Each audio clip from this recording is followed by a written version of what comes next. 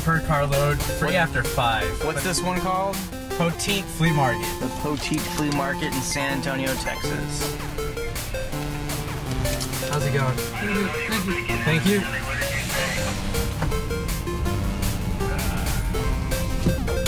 Yep, we're on a mission. We're gonna find Castle Grayskull. Yeah, I need a Castle Grayskull for the RPG Connect Show. Uh, do an intro. But like, this is an idea I've been talking about for months. And then the irate gamer comes out with this He-Man video where he does pretty much exactly what I wanted to freaking do for my, one of my videos. But you know what? I'm still gonna fucking do it. I'm still gonna do it. That's right, Chris. I'm gonna do it anyway. And you know what? I'm gonna do it better than you. Wow. Just you watch. I'm gonna do it better than you. Oh no, I do know there's a gamer store over here. That's where you wanna go first, huh? No, we'll hunt Castle Grayskull first, dude. Nah, let's find that castle. I need that castle. You can buy some underwear over there for 3 for 12. That's what you need. Oh yeah, Need some new underwear. that's what I did on my video. It was like underwear. They might be this one.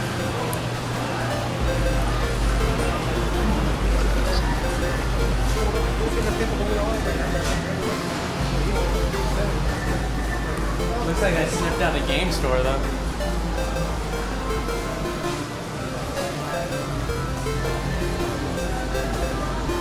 There's some games over there. Oh yeah, this is the one where it's probably snarky. It's me, Mario.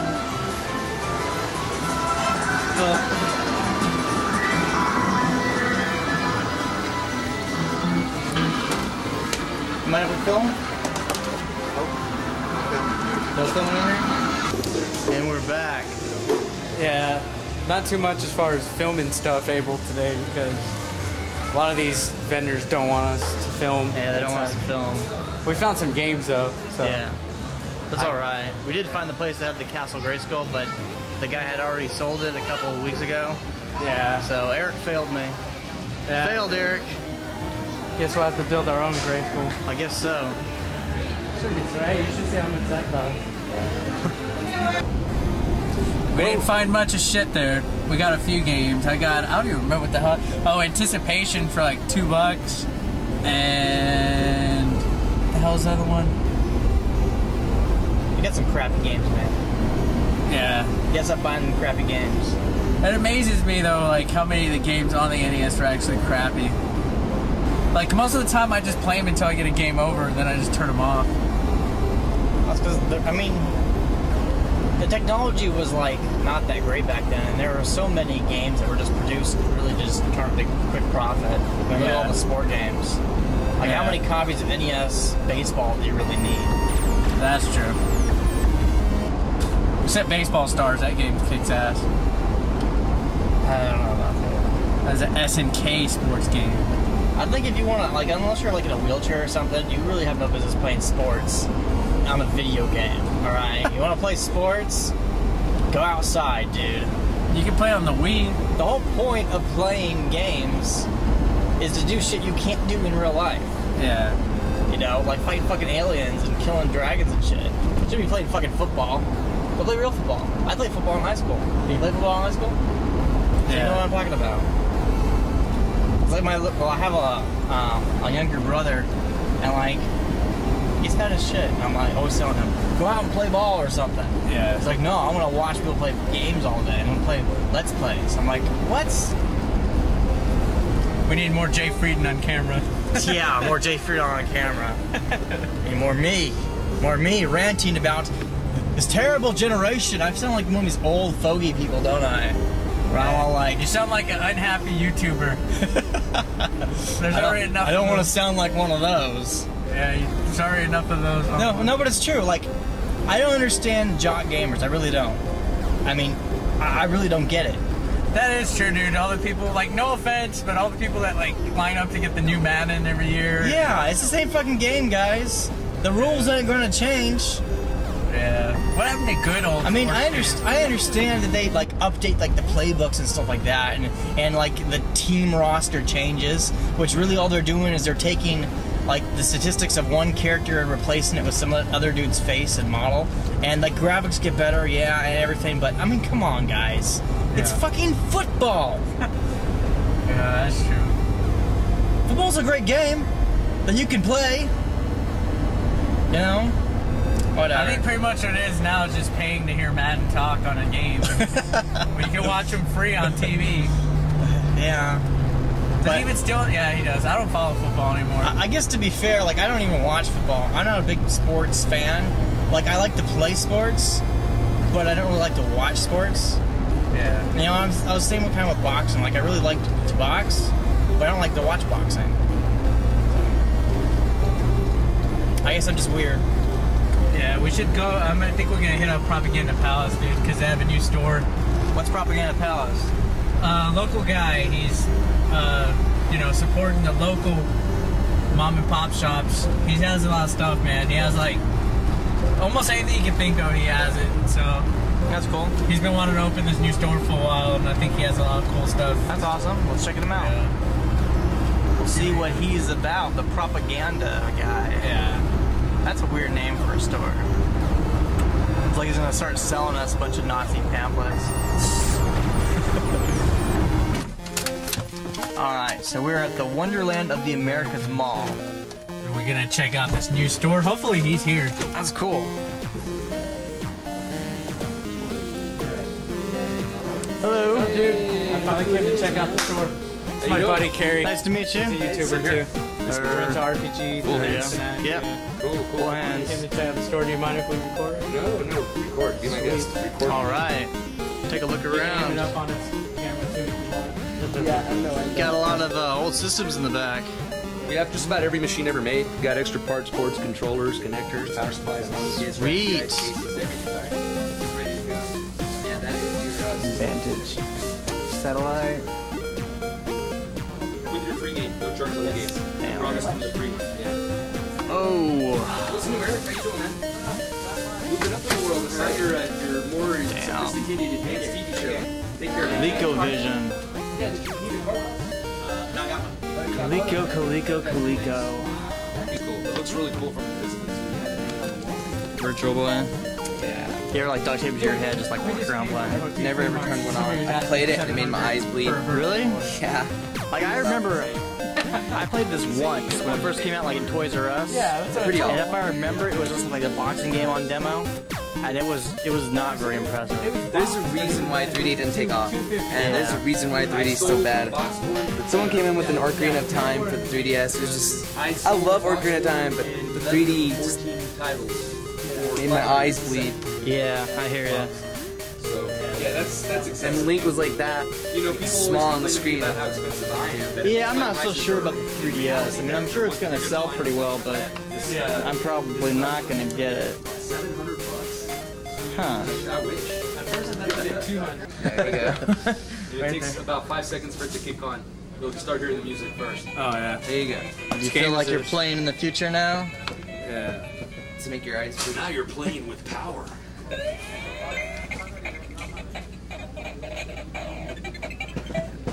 Sounds at least That's a. Nintendo moment. Dude, you're Yeah. gonna have to play. You're gonna have to put the camera down, unfortunately, because I don't think you can film that. But it's really cool. They Yeah. have. Have you ever played one?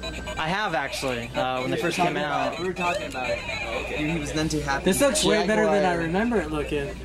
You were none It's too happy with that. Uh, It's just that it was black and red. That's the only problem. There's the wood then you Ataris power, It really does give you toward the end of production run.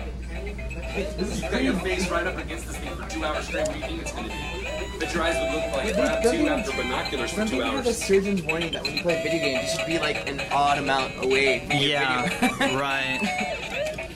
You guys got a lot of box games. Definitely. And actually, what you see here is just what fits here. I have a lot more than this, plus my other store. Cool. We're still moving in, kind of. We still have a little bit of a mess, but it's slowly getting better in here.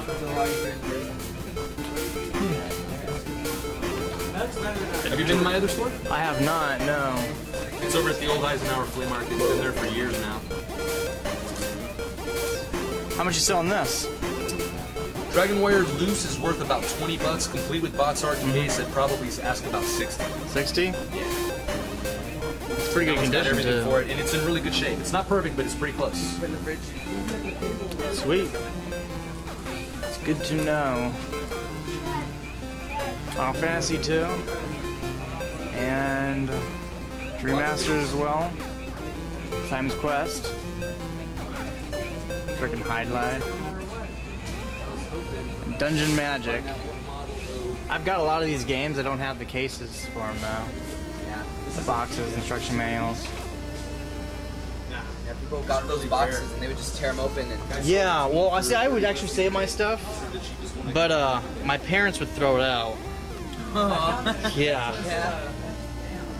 Just on that, not including the monitor. Actually, uh, when I went in the army, I had like a whole bunch of stuff. Like even I even had like computer games and stuff.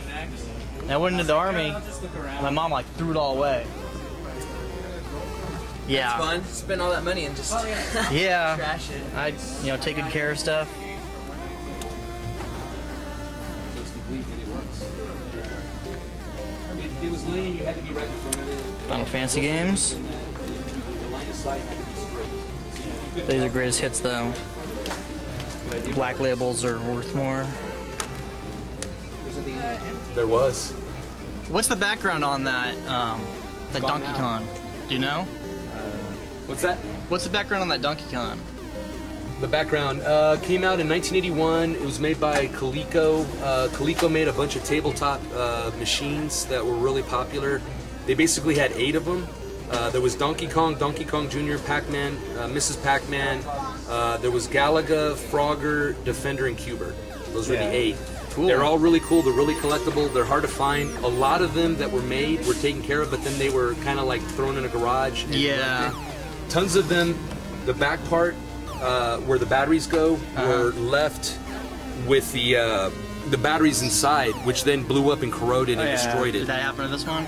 Uh, I think that's what happened to this one, and they also like It's all taped up. yeah they had to tape it up because they lost the cover. That sucks. But uh, even even if it was cosmetically great on the outside, a lot of them broke because they left batteries in them, and, and the batteries blew up. They started getting that like fuzz, that white salt. Uh, you know what I'm talking about? Yeah, I know what you're talking about. And once that happens, it if it if it hits the board, it's toast. I've seen a couple Robs like that. You see them destroyed all the time, and so to find one that actually works is hard. To find one that works and is cosmetically perfect is even harder. This one's not in bad shape; it just doesn't have the cover, mm-hmm. and the top sticker has some damage, Yeah. and the front sticker's gone. What? The so side what, is good. So what do you sell that for? One in this shape, I would do about 50 bucks. 50 bucks? Because it works. It's just not the prettiest one, but it works. Still looks good on the shelf. Yeah. it looks awesome on a shelf, yeah, exactly. And it would look even cooler if it had the Donkey Kong sticker right there. But, Yeah, that'd be cool. Yeah. That's still an interesting piece of video game history, though. At the other store, I got tons of tabletops like that. Uh, I got a Space Invaders one that wasn't made by Coleco, and I've got a Defender one that was made by a different company, and I've got a copy of Pac-Man 2, Cool. which was made by uh, Exy, the old software company. That's really rare. Uh, but yeah, I mean, you never know what you're gonna find. I always, I used to, like I was telling Eric the other day, I used to go to all the garage sales, and I would always pick up. But I've been doing this for 20 years. I've had plenty of time to pick up stuff. Now everyone wants to do it, and now it's kind of cool. Back then, people would laugh at you. yeah. What you want that old junk for? It's just junk. I know exactly what you're talking about. People about. still give me that though. They're like, "Why are you reviewing t- NES games?" It's like, Because it's fun. Yeah, And they're way better than anything they make now. I'm sorry, they are. Everything they make now is just like part seven of a game I've been playing for 20 years anyway. Yeah. There's so, there's a lot of sequels out there. There are some original stuff out there, though. I There's mean, not a like whole lot of it. Minecraft. Minecraft. Minecraft is cool. I like Minecraft. Yeah. Skyrim. I haven't played that yet. It's not out yet, is it? No, it's about to come out. I think. Yeah, that's right. I'm waiting on the I advanced keep hearing copy everyone that. talking about it though. Skyrim, this Skyrim. I think I'm gonna get an that one advanced copy that, uh, that. that Zelda Skyward Sword. Yeah. I keep hearing about that too. I always, I'm like, I'm gonna build a Dalai Lama, and then I, I build it and I look at it and it's just like three blocks. Like, Yeah, my uh, my little brother's really into Minecraft. He's crazy about it.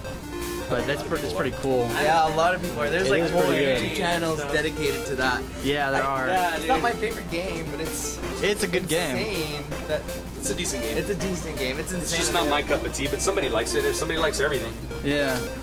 We were playing uh, TurboGrafx uh, Splatterhouse earlier. Oh yeah, that's a good version. Yeah, y'all want to play? You ever played It's very tempting. Eric, you should play it. Well, what do you sell this for? I don't even. I, I tried doing research to find out what the hell that is, and I can't find anything. The only reason I thought it was the Eye of Sauron Because of the eyes. of the eye. It looks like. I don't think it is. Does it because though? You, you remember the movie? Yeah, That it does kind of look like that There should be a website where you take pictures and stuff, and you say, "Hey, does anybody know what, Know the, what heck the hell this this is?" is? It's definitely And third like, party. Everybody talks about it. I don't sure want to say it's I'm sure there's custom, message but it's. boards. I don't think this is custom. I vaguely, vaguely think I recall seeing these in a store, and it's third party. I'm, I'm positive it's third party. There's no way Sony made that. Yeah. But I don't know who made it, and I don't know what it is. It could be custom, anything dude. So you don't want to sell it until you know what it is? It could be custom, dude. I guess I could sell it, but I'd be afraid I'd be selling it too low because it's probably not something you see all the time. So how much? How much would you want for it? I sell regular PS2 controller for about 10 bucks. How about we do 20 on that one? Does that sound reasonable? It works perfect. It, it's and I'll let you uh, test it before you buy it. I'll test it out, but yeah, that, I guess that's, that's pretty good. Twenty, sure, because it is pretty cool. It is cool, and I've never seen one like it. And I've I been doing this for a vaguely. I vaguely have seen one of these before. I vaguely have, but I don't remember exactly where. I get where. to see every video game slash uh, heavy metal fanatic going, yes, this is my controller. Yeah, it is pretty cool. I've never seen a Yeah. master in person. You got a copy of K.C. Munchkin? K.C. Munchkin? Uh, In no, any of your can't stores? Say that I do. No. You don't? No. I That's love. hard. I was I loved that game when I was a kid. That was the shit. It's kind of hard to find that one. Yeah, I know. Yeah, I remember I was looking for it before at the other store. I, I, I've since realized that as I try to revisit my childhood, that that game is. If you were lucky enough to get to play when you were growing up, you were one of the lucky few. Yeah. Since then, it's become impossible to find. oh wow. So it's a disc repair system. Yeah, you can uh, take discs and uh, buff them out with that, make them work again.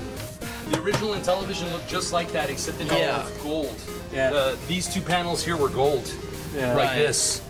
This is the Tandy Vision, which was the Radio Shack version of the same thing. Right. The one they made for Radio Shack. They also did a similar setup with Sears. They had the uh, what they called the uh, Like like Atari um, did. Uh, yes. Atari had their Sears Telegames. video. Yeah. It was Yeah. telegames. They would call it telegames. I'm gonna turn this off. Done with it? Yeah. Yeah. You want me to hook up the turbo or no? Yeah, man, sure. you I've never want. played on one. You never played on one? You never played one? Oh, you're in for a treat, man. Yeah, I'm in for Treats. Yeah, my mom used to work like at a Sears. Um, back in the day, at like a Sears clearance center, and when the TurboGrafx and all the old systems were starting to go down because of the Super Nintendo and Genesis, they had some there real cheap, and I wish I would have gotten it at the time, dude. Back like when it wasn't, a, you know, like back in the early '90s, late '80s, when nothing was collectors yet. They were expensive though. The best time to have bought all that kind of stuff would have been like in the late 90s when nobody cared and it was Yeah. just junk. Yeah. And that's when I would, I mean, I used to get crazy deals on stuff. Now everything has gone back up in price because everyone knows. Because it's been about 20 years. Yeah. That's how collecting goes, you know, in 20 year cycles. I've people try to before. revisit, people You try to sound just like revisit. yeah, they try to revisit their childhood, and now they've got money. In so. the 90s, everyone was about the 70s. The 70s were the coolest. In the Yeah. 2000s, it was all about the 80s. I predict at the end of this decade, we'll be talking about how great the 90s were. probably, Same idea. Probably. They were great. I keep telling my younger brother like to take good care of his games because they'll be worth something later. Yeah, my, I almost killed my brother the other day when he talked about getting rid of his Musha. he had Musha on the Genesis. Don't ever get rid of that game. Yeah, he goes, he goes, they're nothing to me. He goes, I, I don't care if I throw them out in the trash. He goes, these are just games to me. I'm like, Okay, man. I was like, Crazy if you ever talk. Get, I was like, if you ever get rid of Musha, I was like, I swear to God, I'll, I'll kill, kill you. you. this is the deluxe controller for it. Oh wow. Yeah.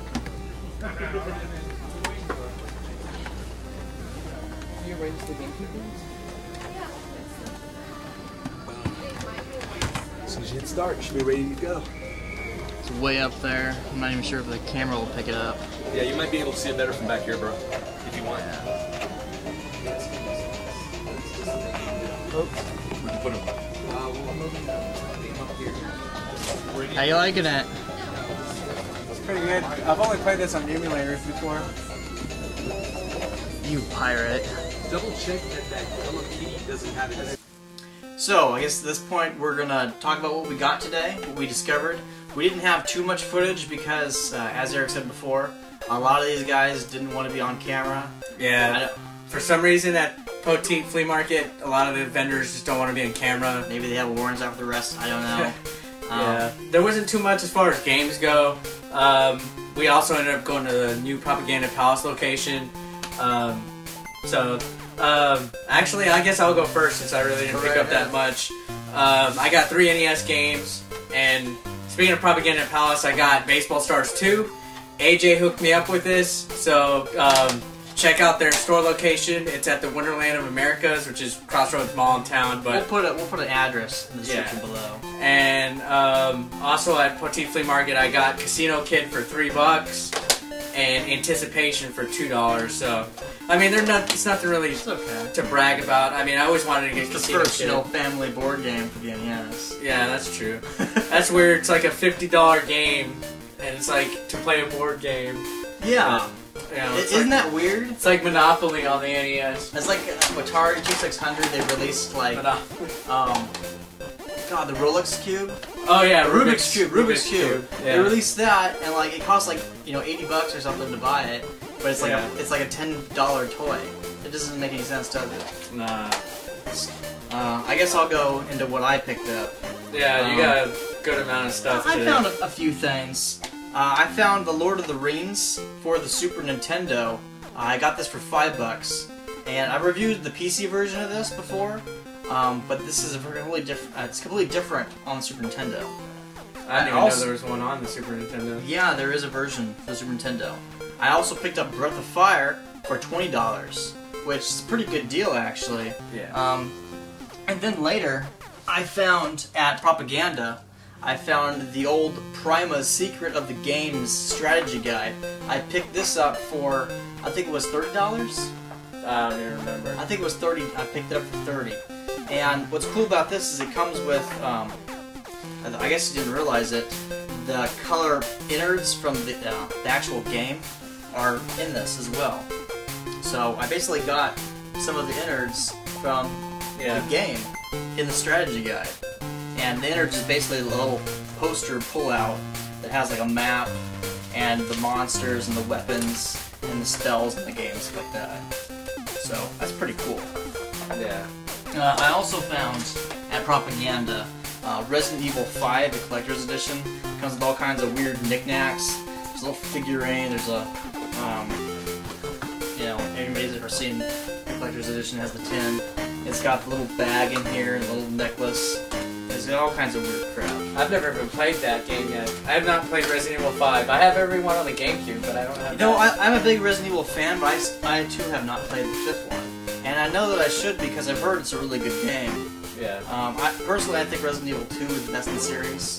Just my, Yeah. my personal belief. And I know this is more like Resident Evil 4 was kind of like the first-person shooter.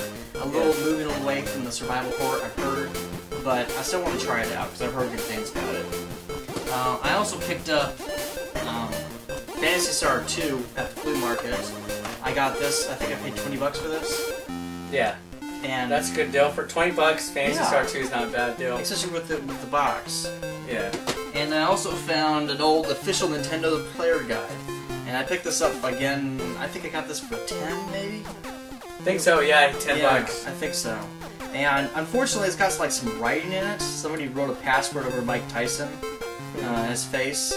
But um, basically what this is is that it talks about all the games that Nintendo had released up to that point categorized by the series, like the Adventure series, or the Education series, or the Robot series. Those like, what, three games in, for the Yeah. Rob? Donkey Kong Jr. Math. Yeah, that's the education series. You know? I still want to buy that game, though. Just not going to pay 25 for it. What I thought was real interesting in this when we were looking through, we found like Zelda uh, and Zelda 2. And like the cover art for Zelda 2 was obviously somebody just drew a random image in there because it's not the cover Yeah. that was released in Japan. It's not the cover that was released in the North America either. It's just like some placeholder artwork, which which says to me that the game probably hadn't came out yet when this guide was made. Yeah, and then I noticed some of them aren't even. It's like a screenshot of the title screen, right? Yeah, Yeah. Oh, wait. Oh, never mind. I see it now. Both the box and the title screen. Yeah, there's a title screen there as well. And what I like about this is that um, it's part of the, the history, but it also um, it talks a little about the game itself, shows some of the screenshots. And before we had things like Wikipedia, know, this is basically how we knew what games were available for the systems. Yeah. So it's pretty cool.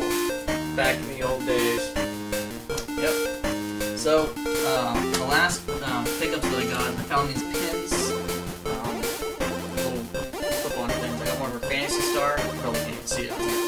This one is Chrono Trigger.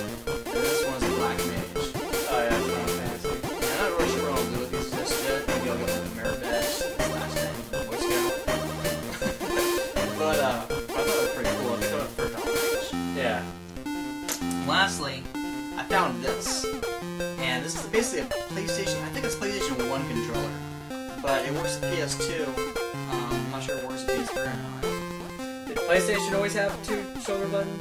I'm not familiar with PlayStation. Yeah, I always had these two buttons. I think so. I'm pretty sure. Yeah, I'm not. I'm not familiar at all. I'm pretty sure. Um, but yeah, I mean, this is weird. Yeah. and it's kind of cool looking. I I vaguely recall, like he thinks it's custom Yeah, I think that's a custom. because we can't find any manufacturer identification mark on this thing anywhere. Yeah, we tried searching, googling it, whatever. If any of you watching this know what that might be, Yeah, comment below. I, or, I swear I vaguely recall seeing these covered in plastic like sit in a Walmart or, or some store like that, but I cannot remember like what brand it was. I don't it might not even be for a specific game. It might just be I a don't it- that I don't made like was- skeletons and stuff. I don't think it was for a game. I could be wrong, but I don't think it was for a game. I think it was just a third Just party. skeletons and skulls. Yeah, I and think it was just a third party. You know, they're trying to do something interesting to sell their to sell their controller, third party controller. Yeah, that's what I think. I could be wrong. My mind might be wrong. Uh, my memory could be mistaken. Yeah. but that's what I think it is. Uh, excellent adventure. Yeah. I think we did pretty good. I mean, I wish I could have came back with a little bit more, but we got some good finds. Um, This time, uh, last time I had hardly anything. This Yeah. time I had more pickups. and Yeah. stuff. so yeah, uh, thanks everybody for watching. Hope you enjoyed it. Uh, if you have any comments, suggestions, whatever, just let us know. Uh, if you know of any places in the area like us to go to, Yeah. hit us up. Just let us know. We're trying to get this thing started. We're even interested in like traveling around in the Texas area. Yeah. Uh, like eventually, I guess we'll go like outside of state if we ever do any. Um, Yeah. if we do some press stuff eventually, because I, I do do some of that stuff.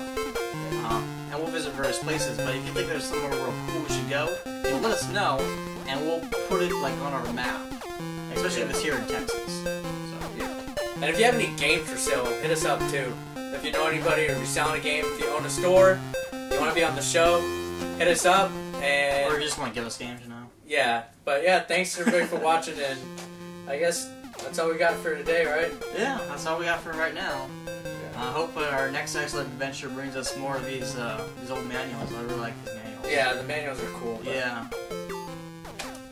Later, guys. All right, thanks for watching. Peace.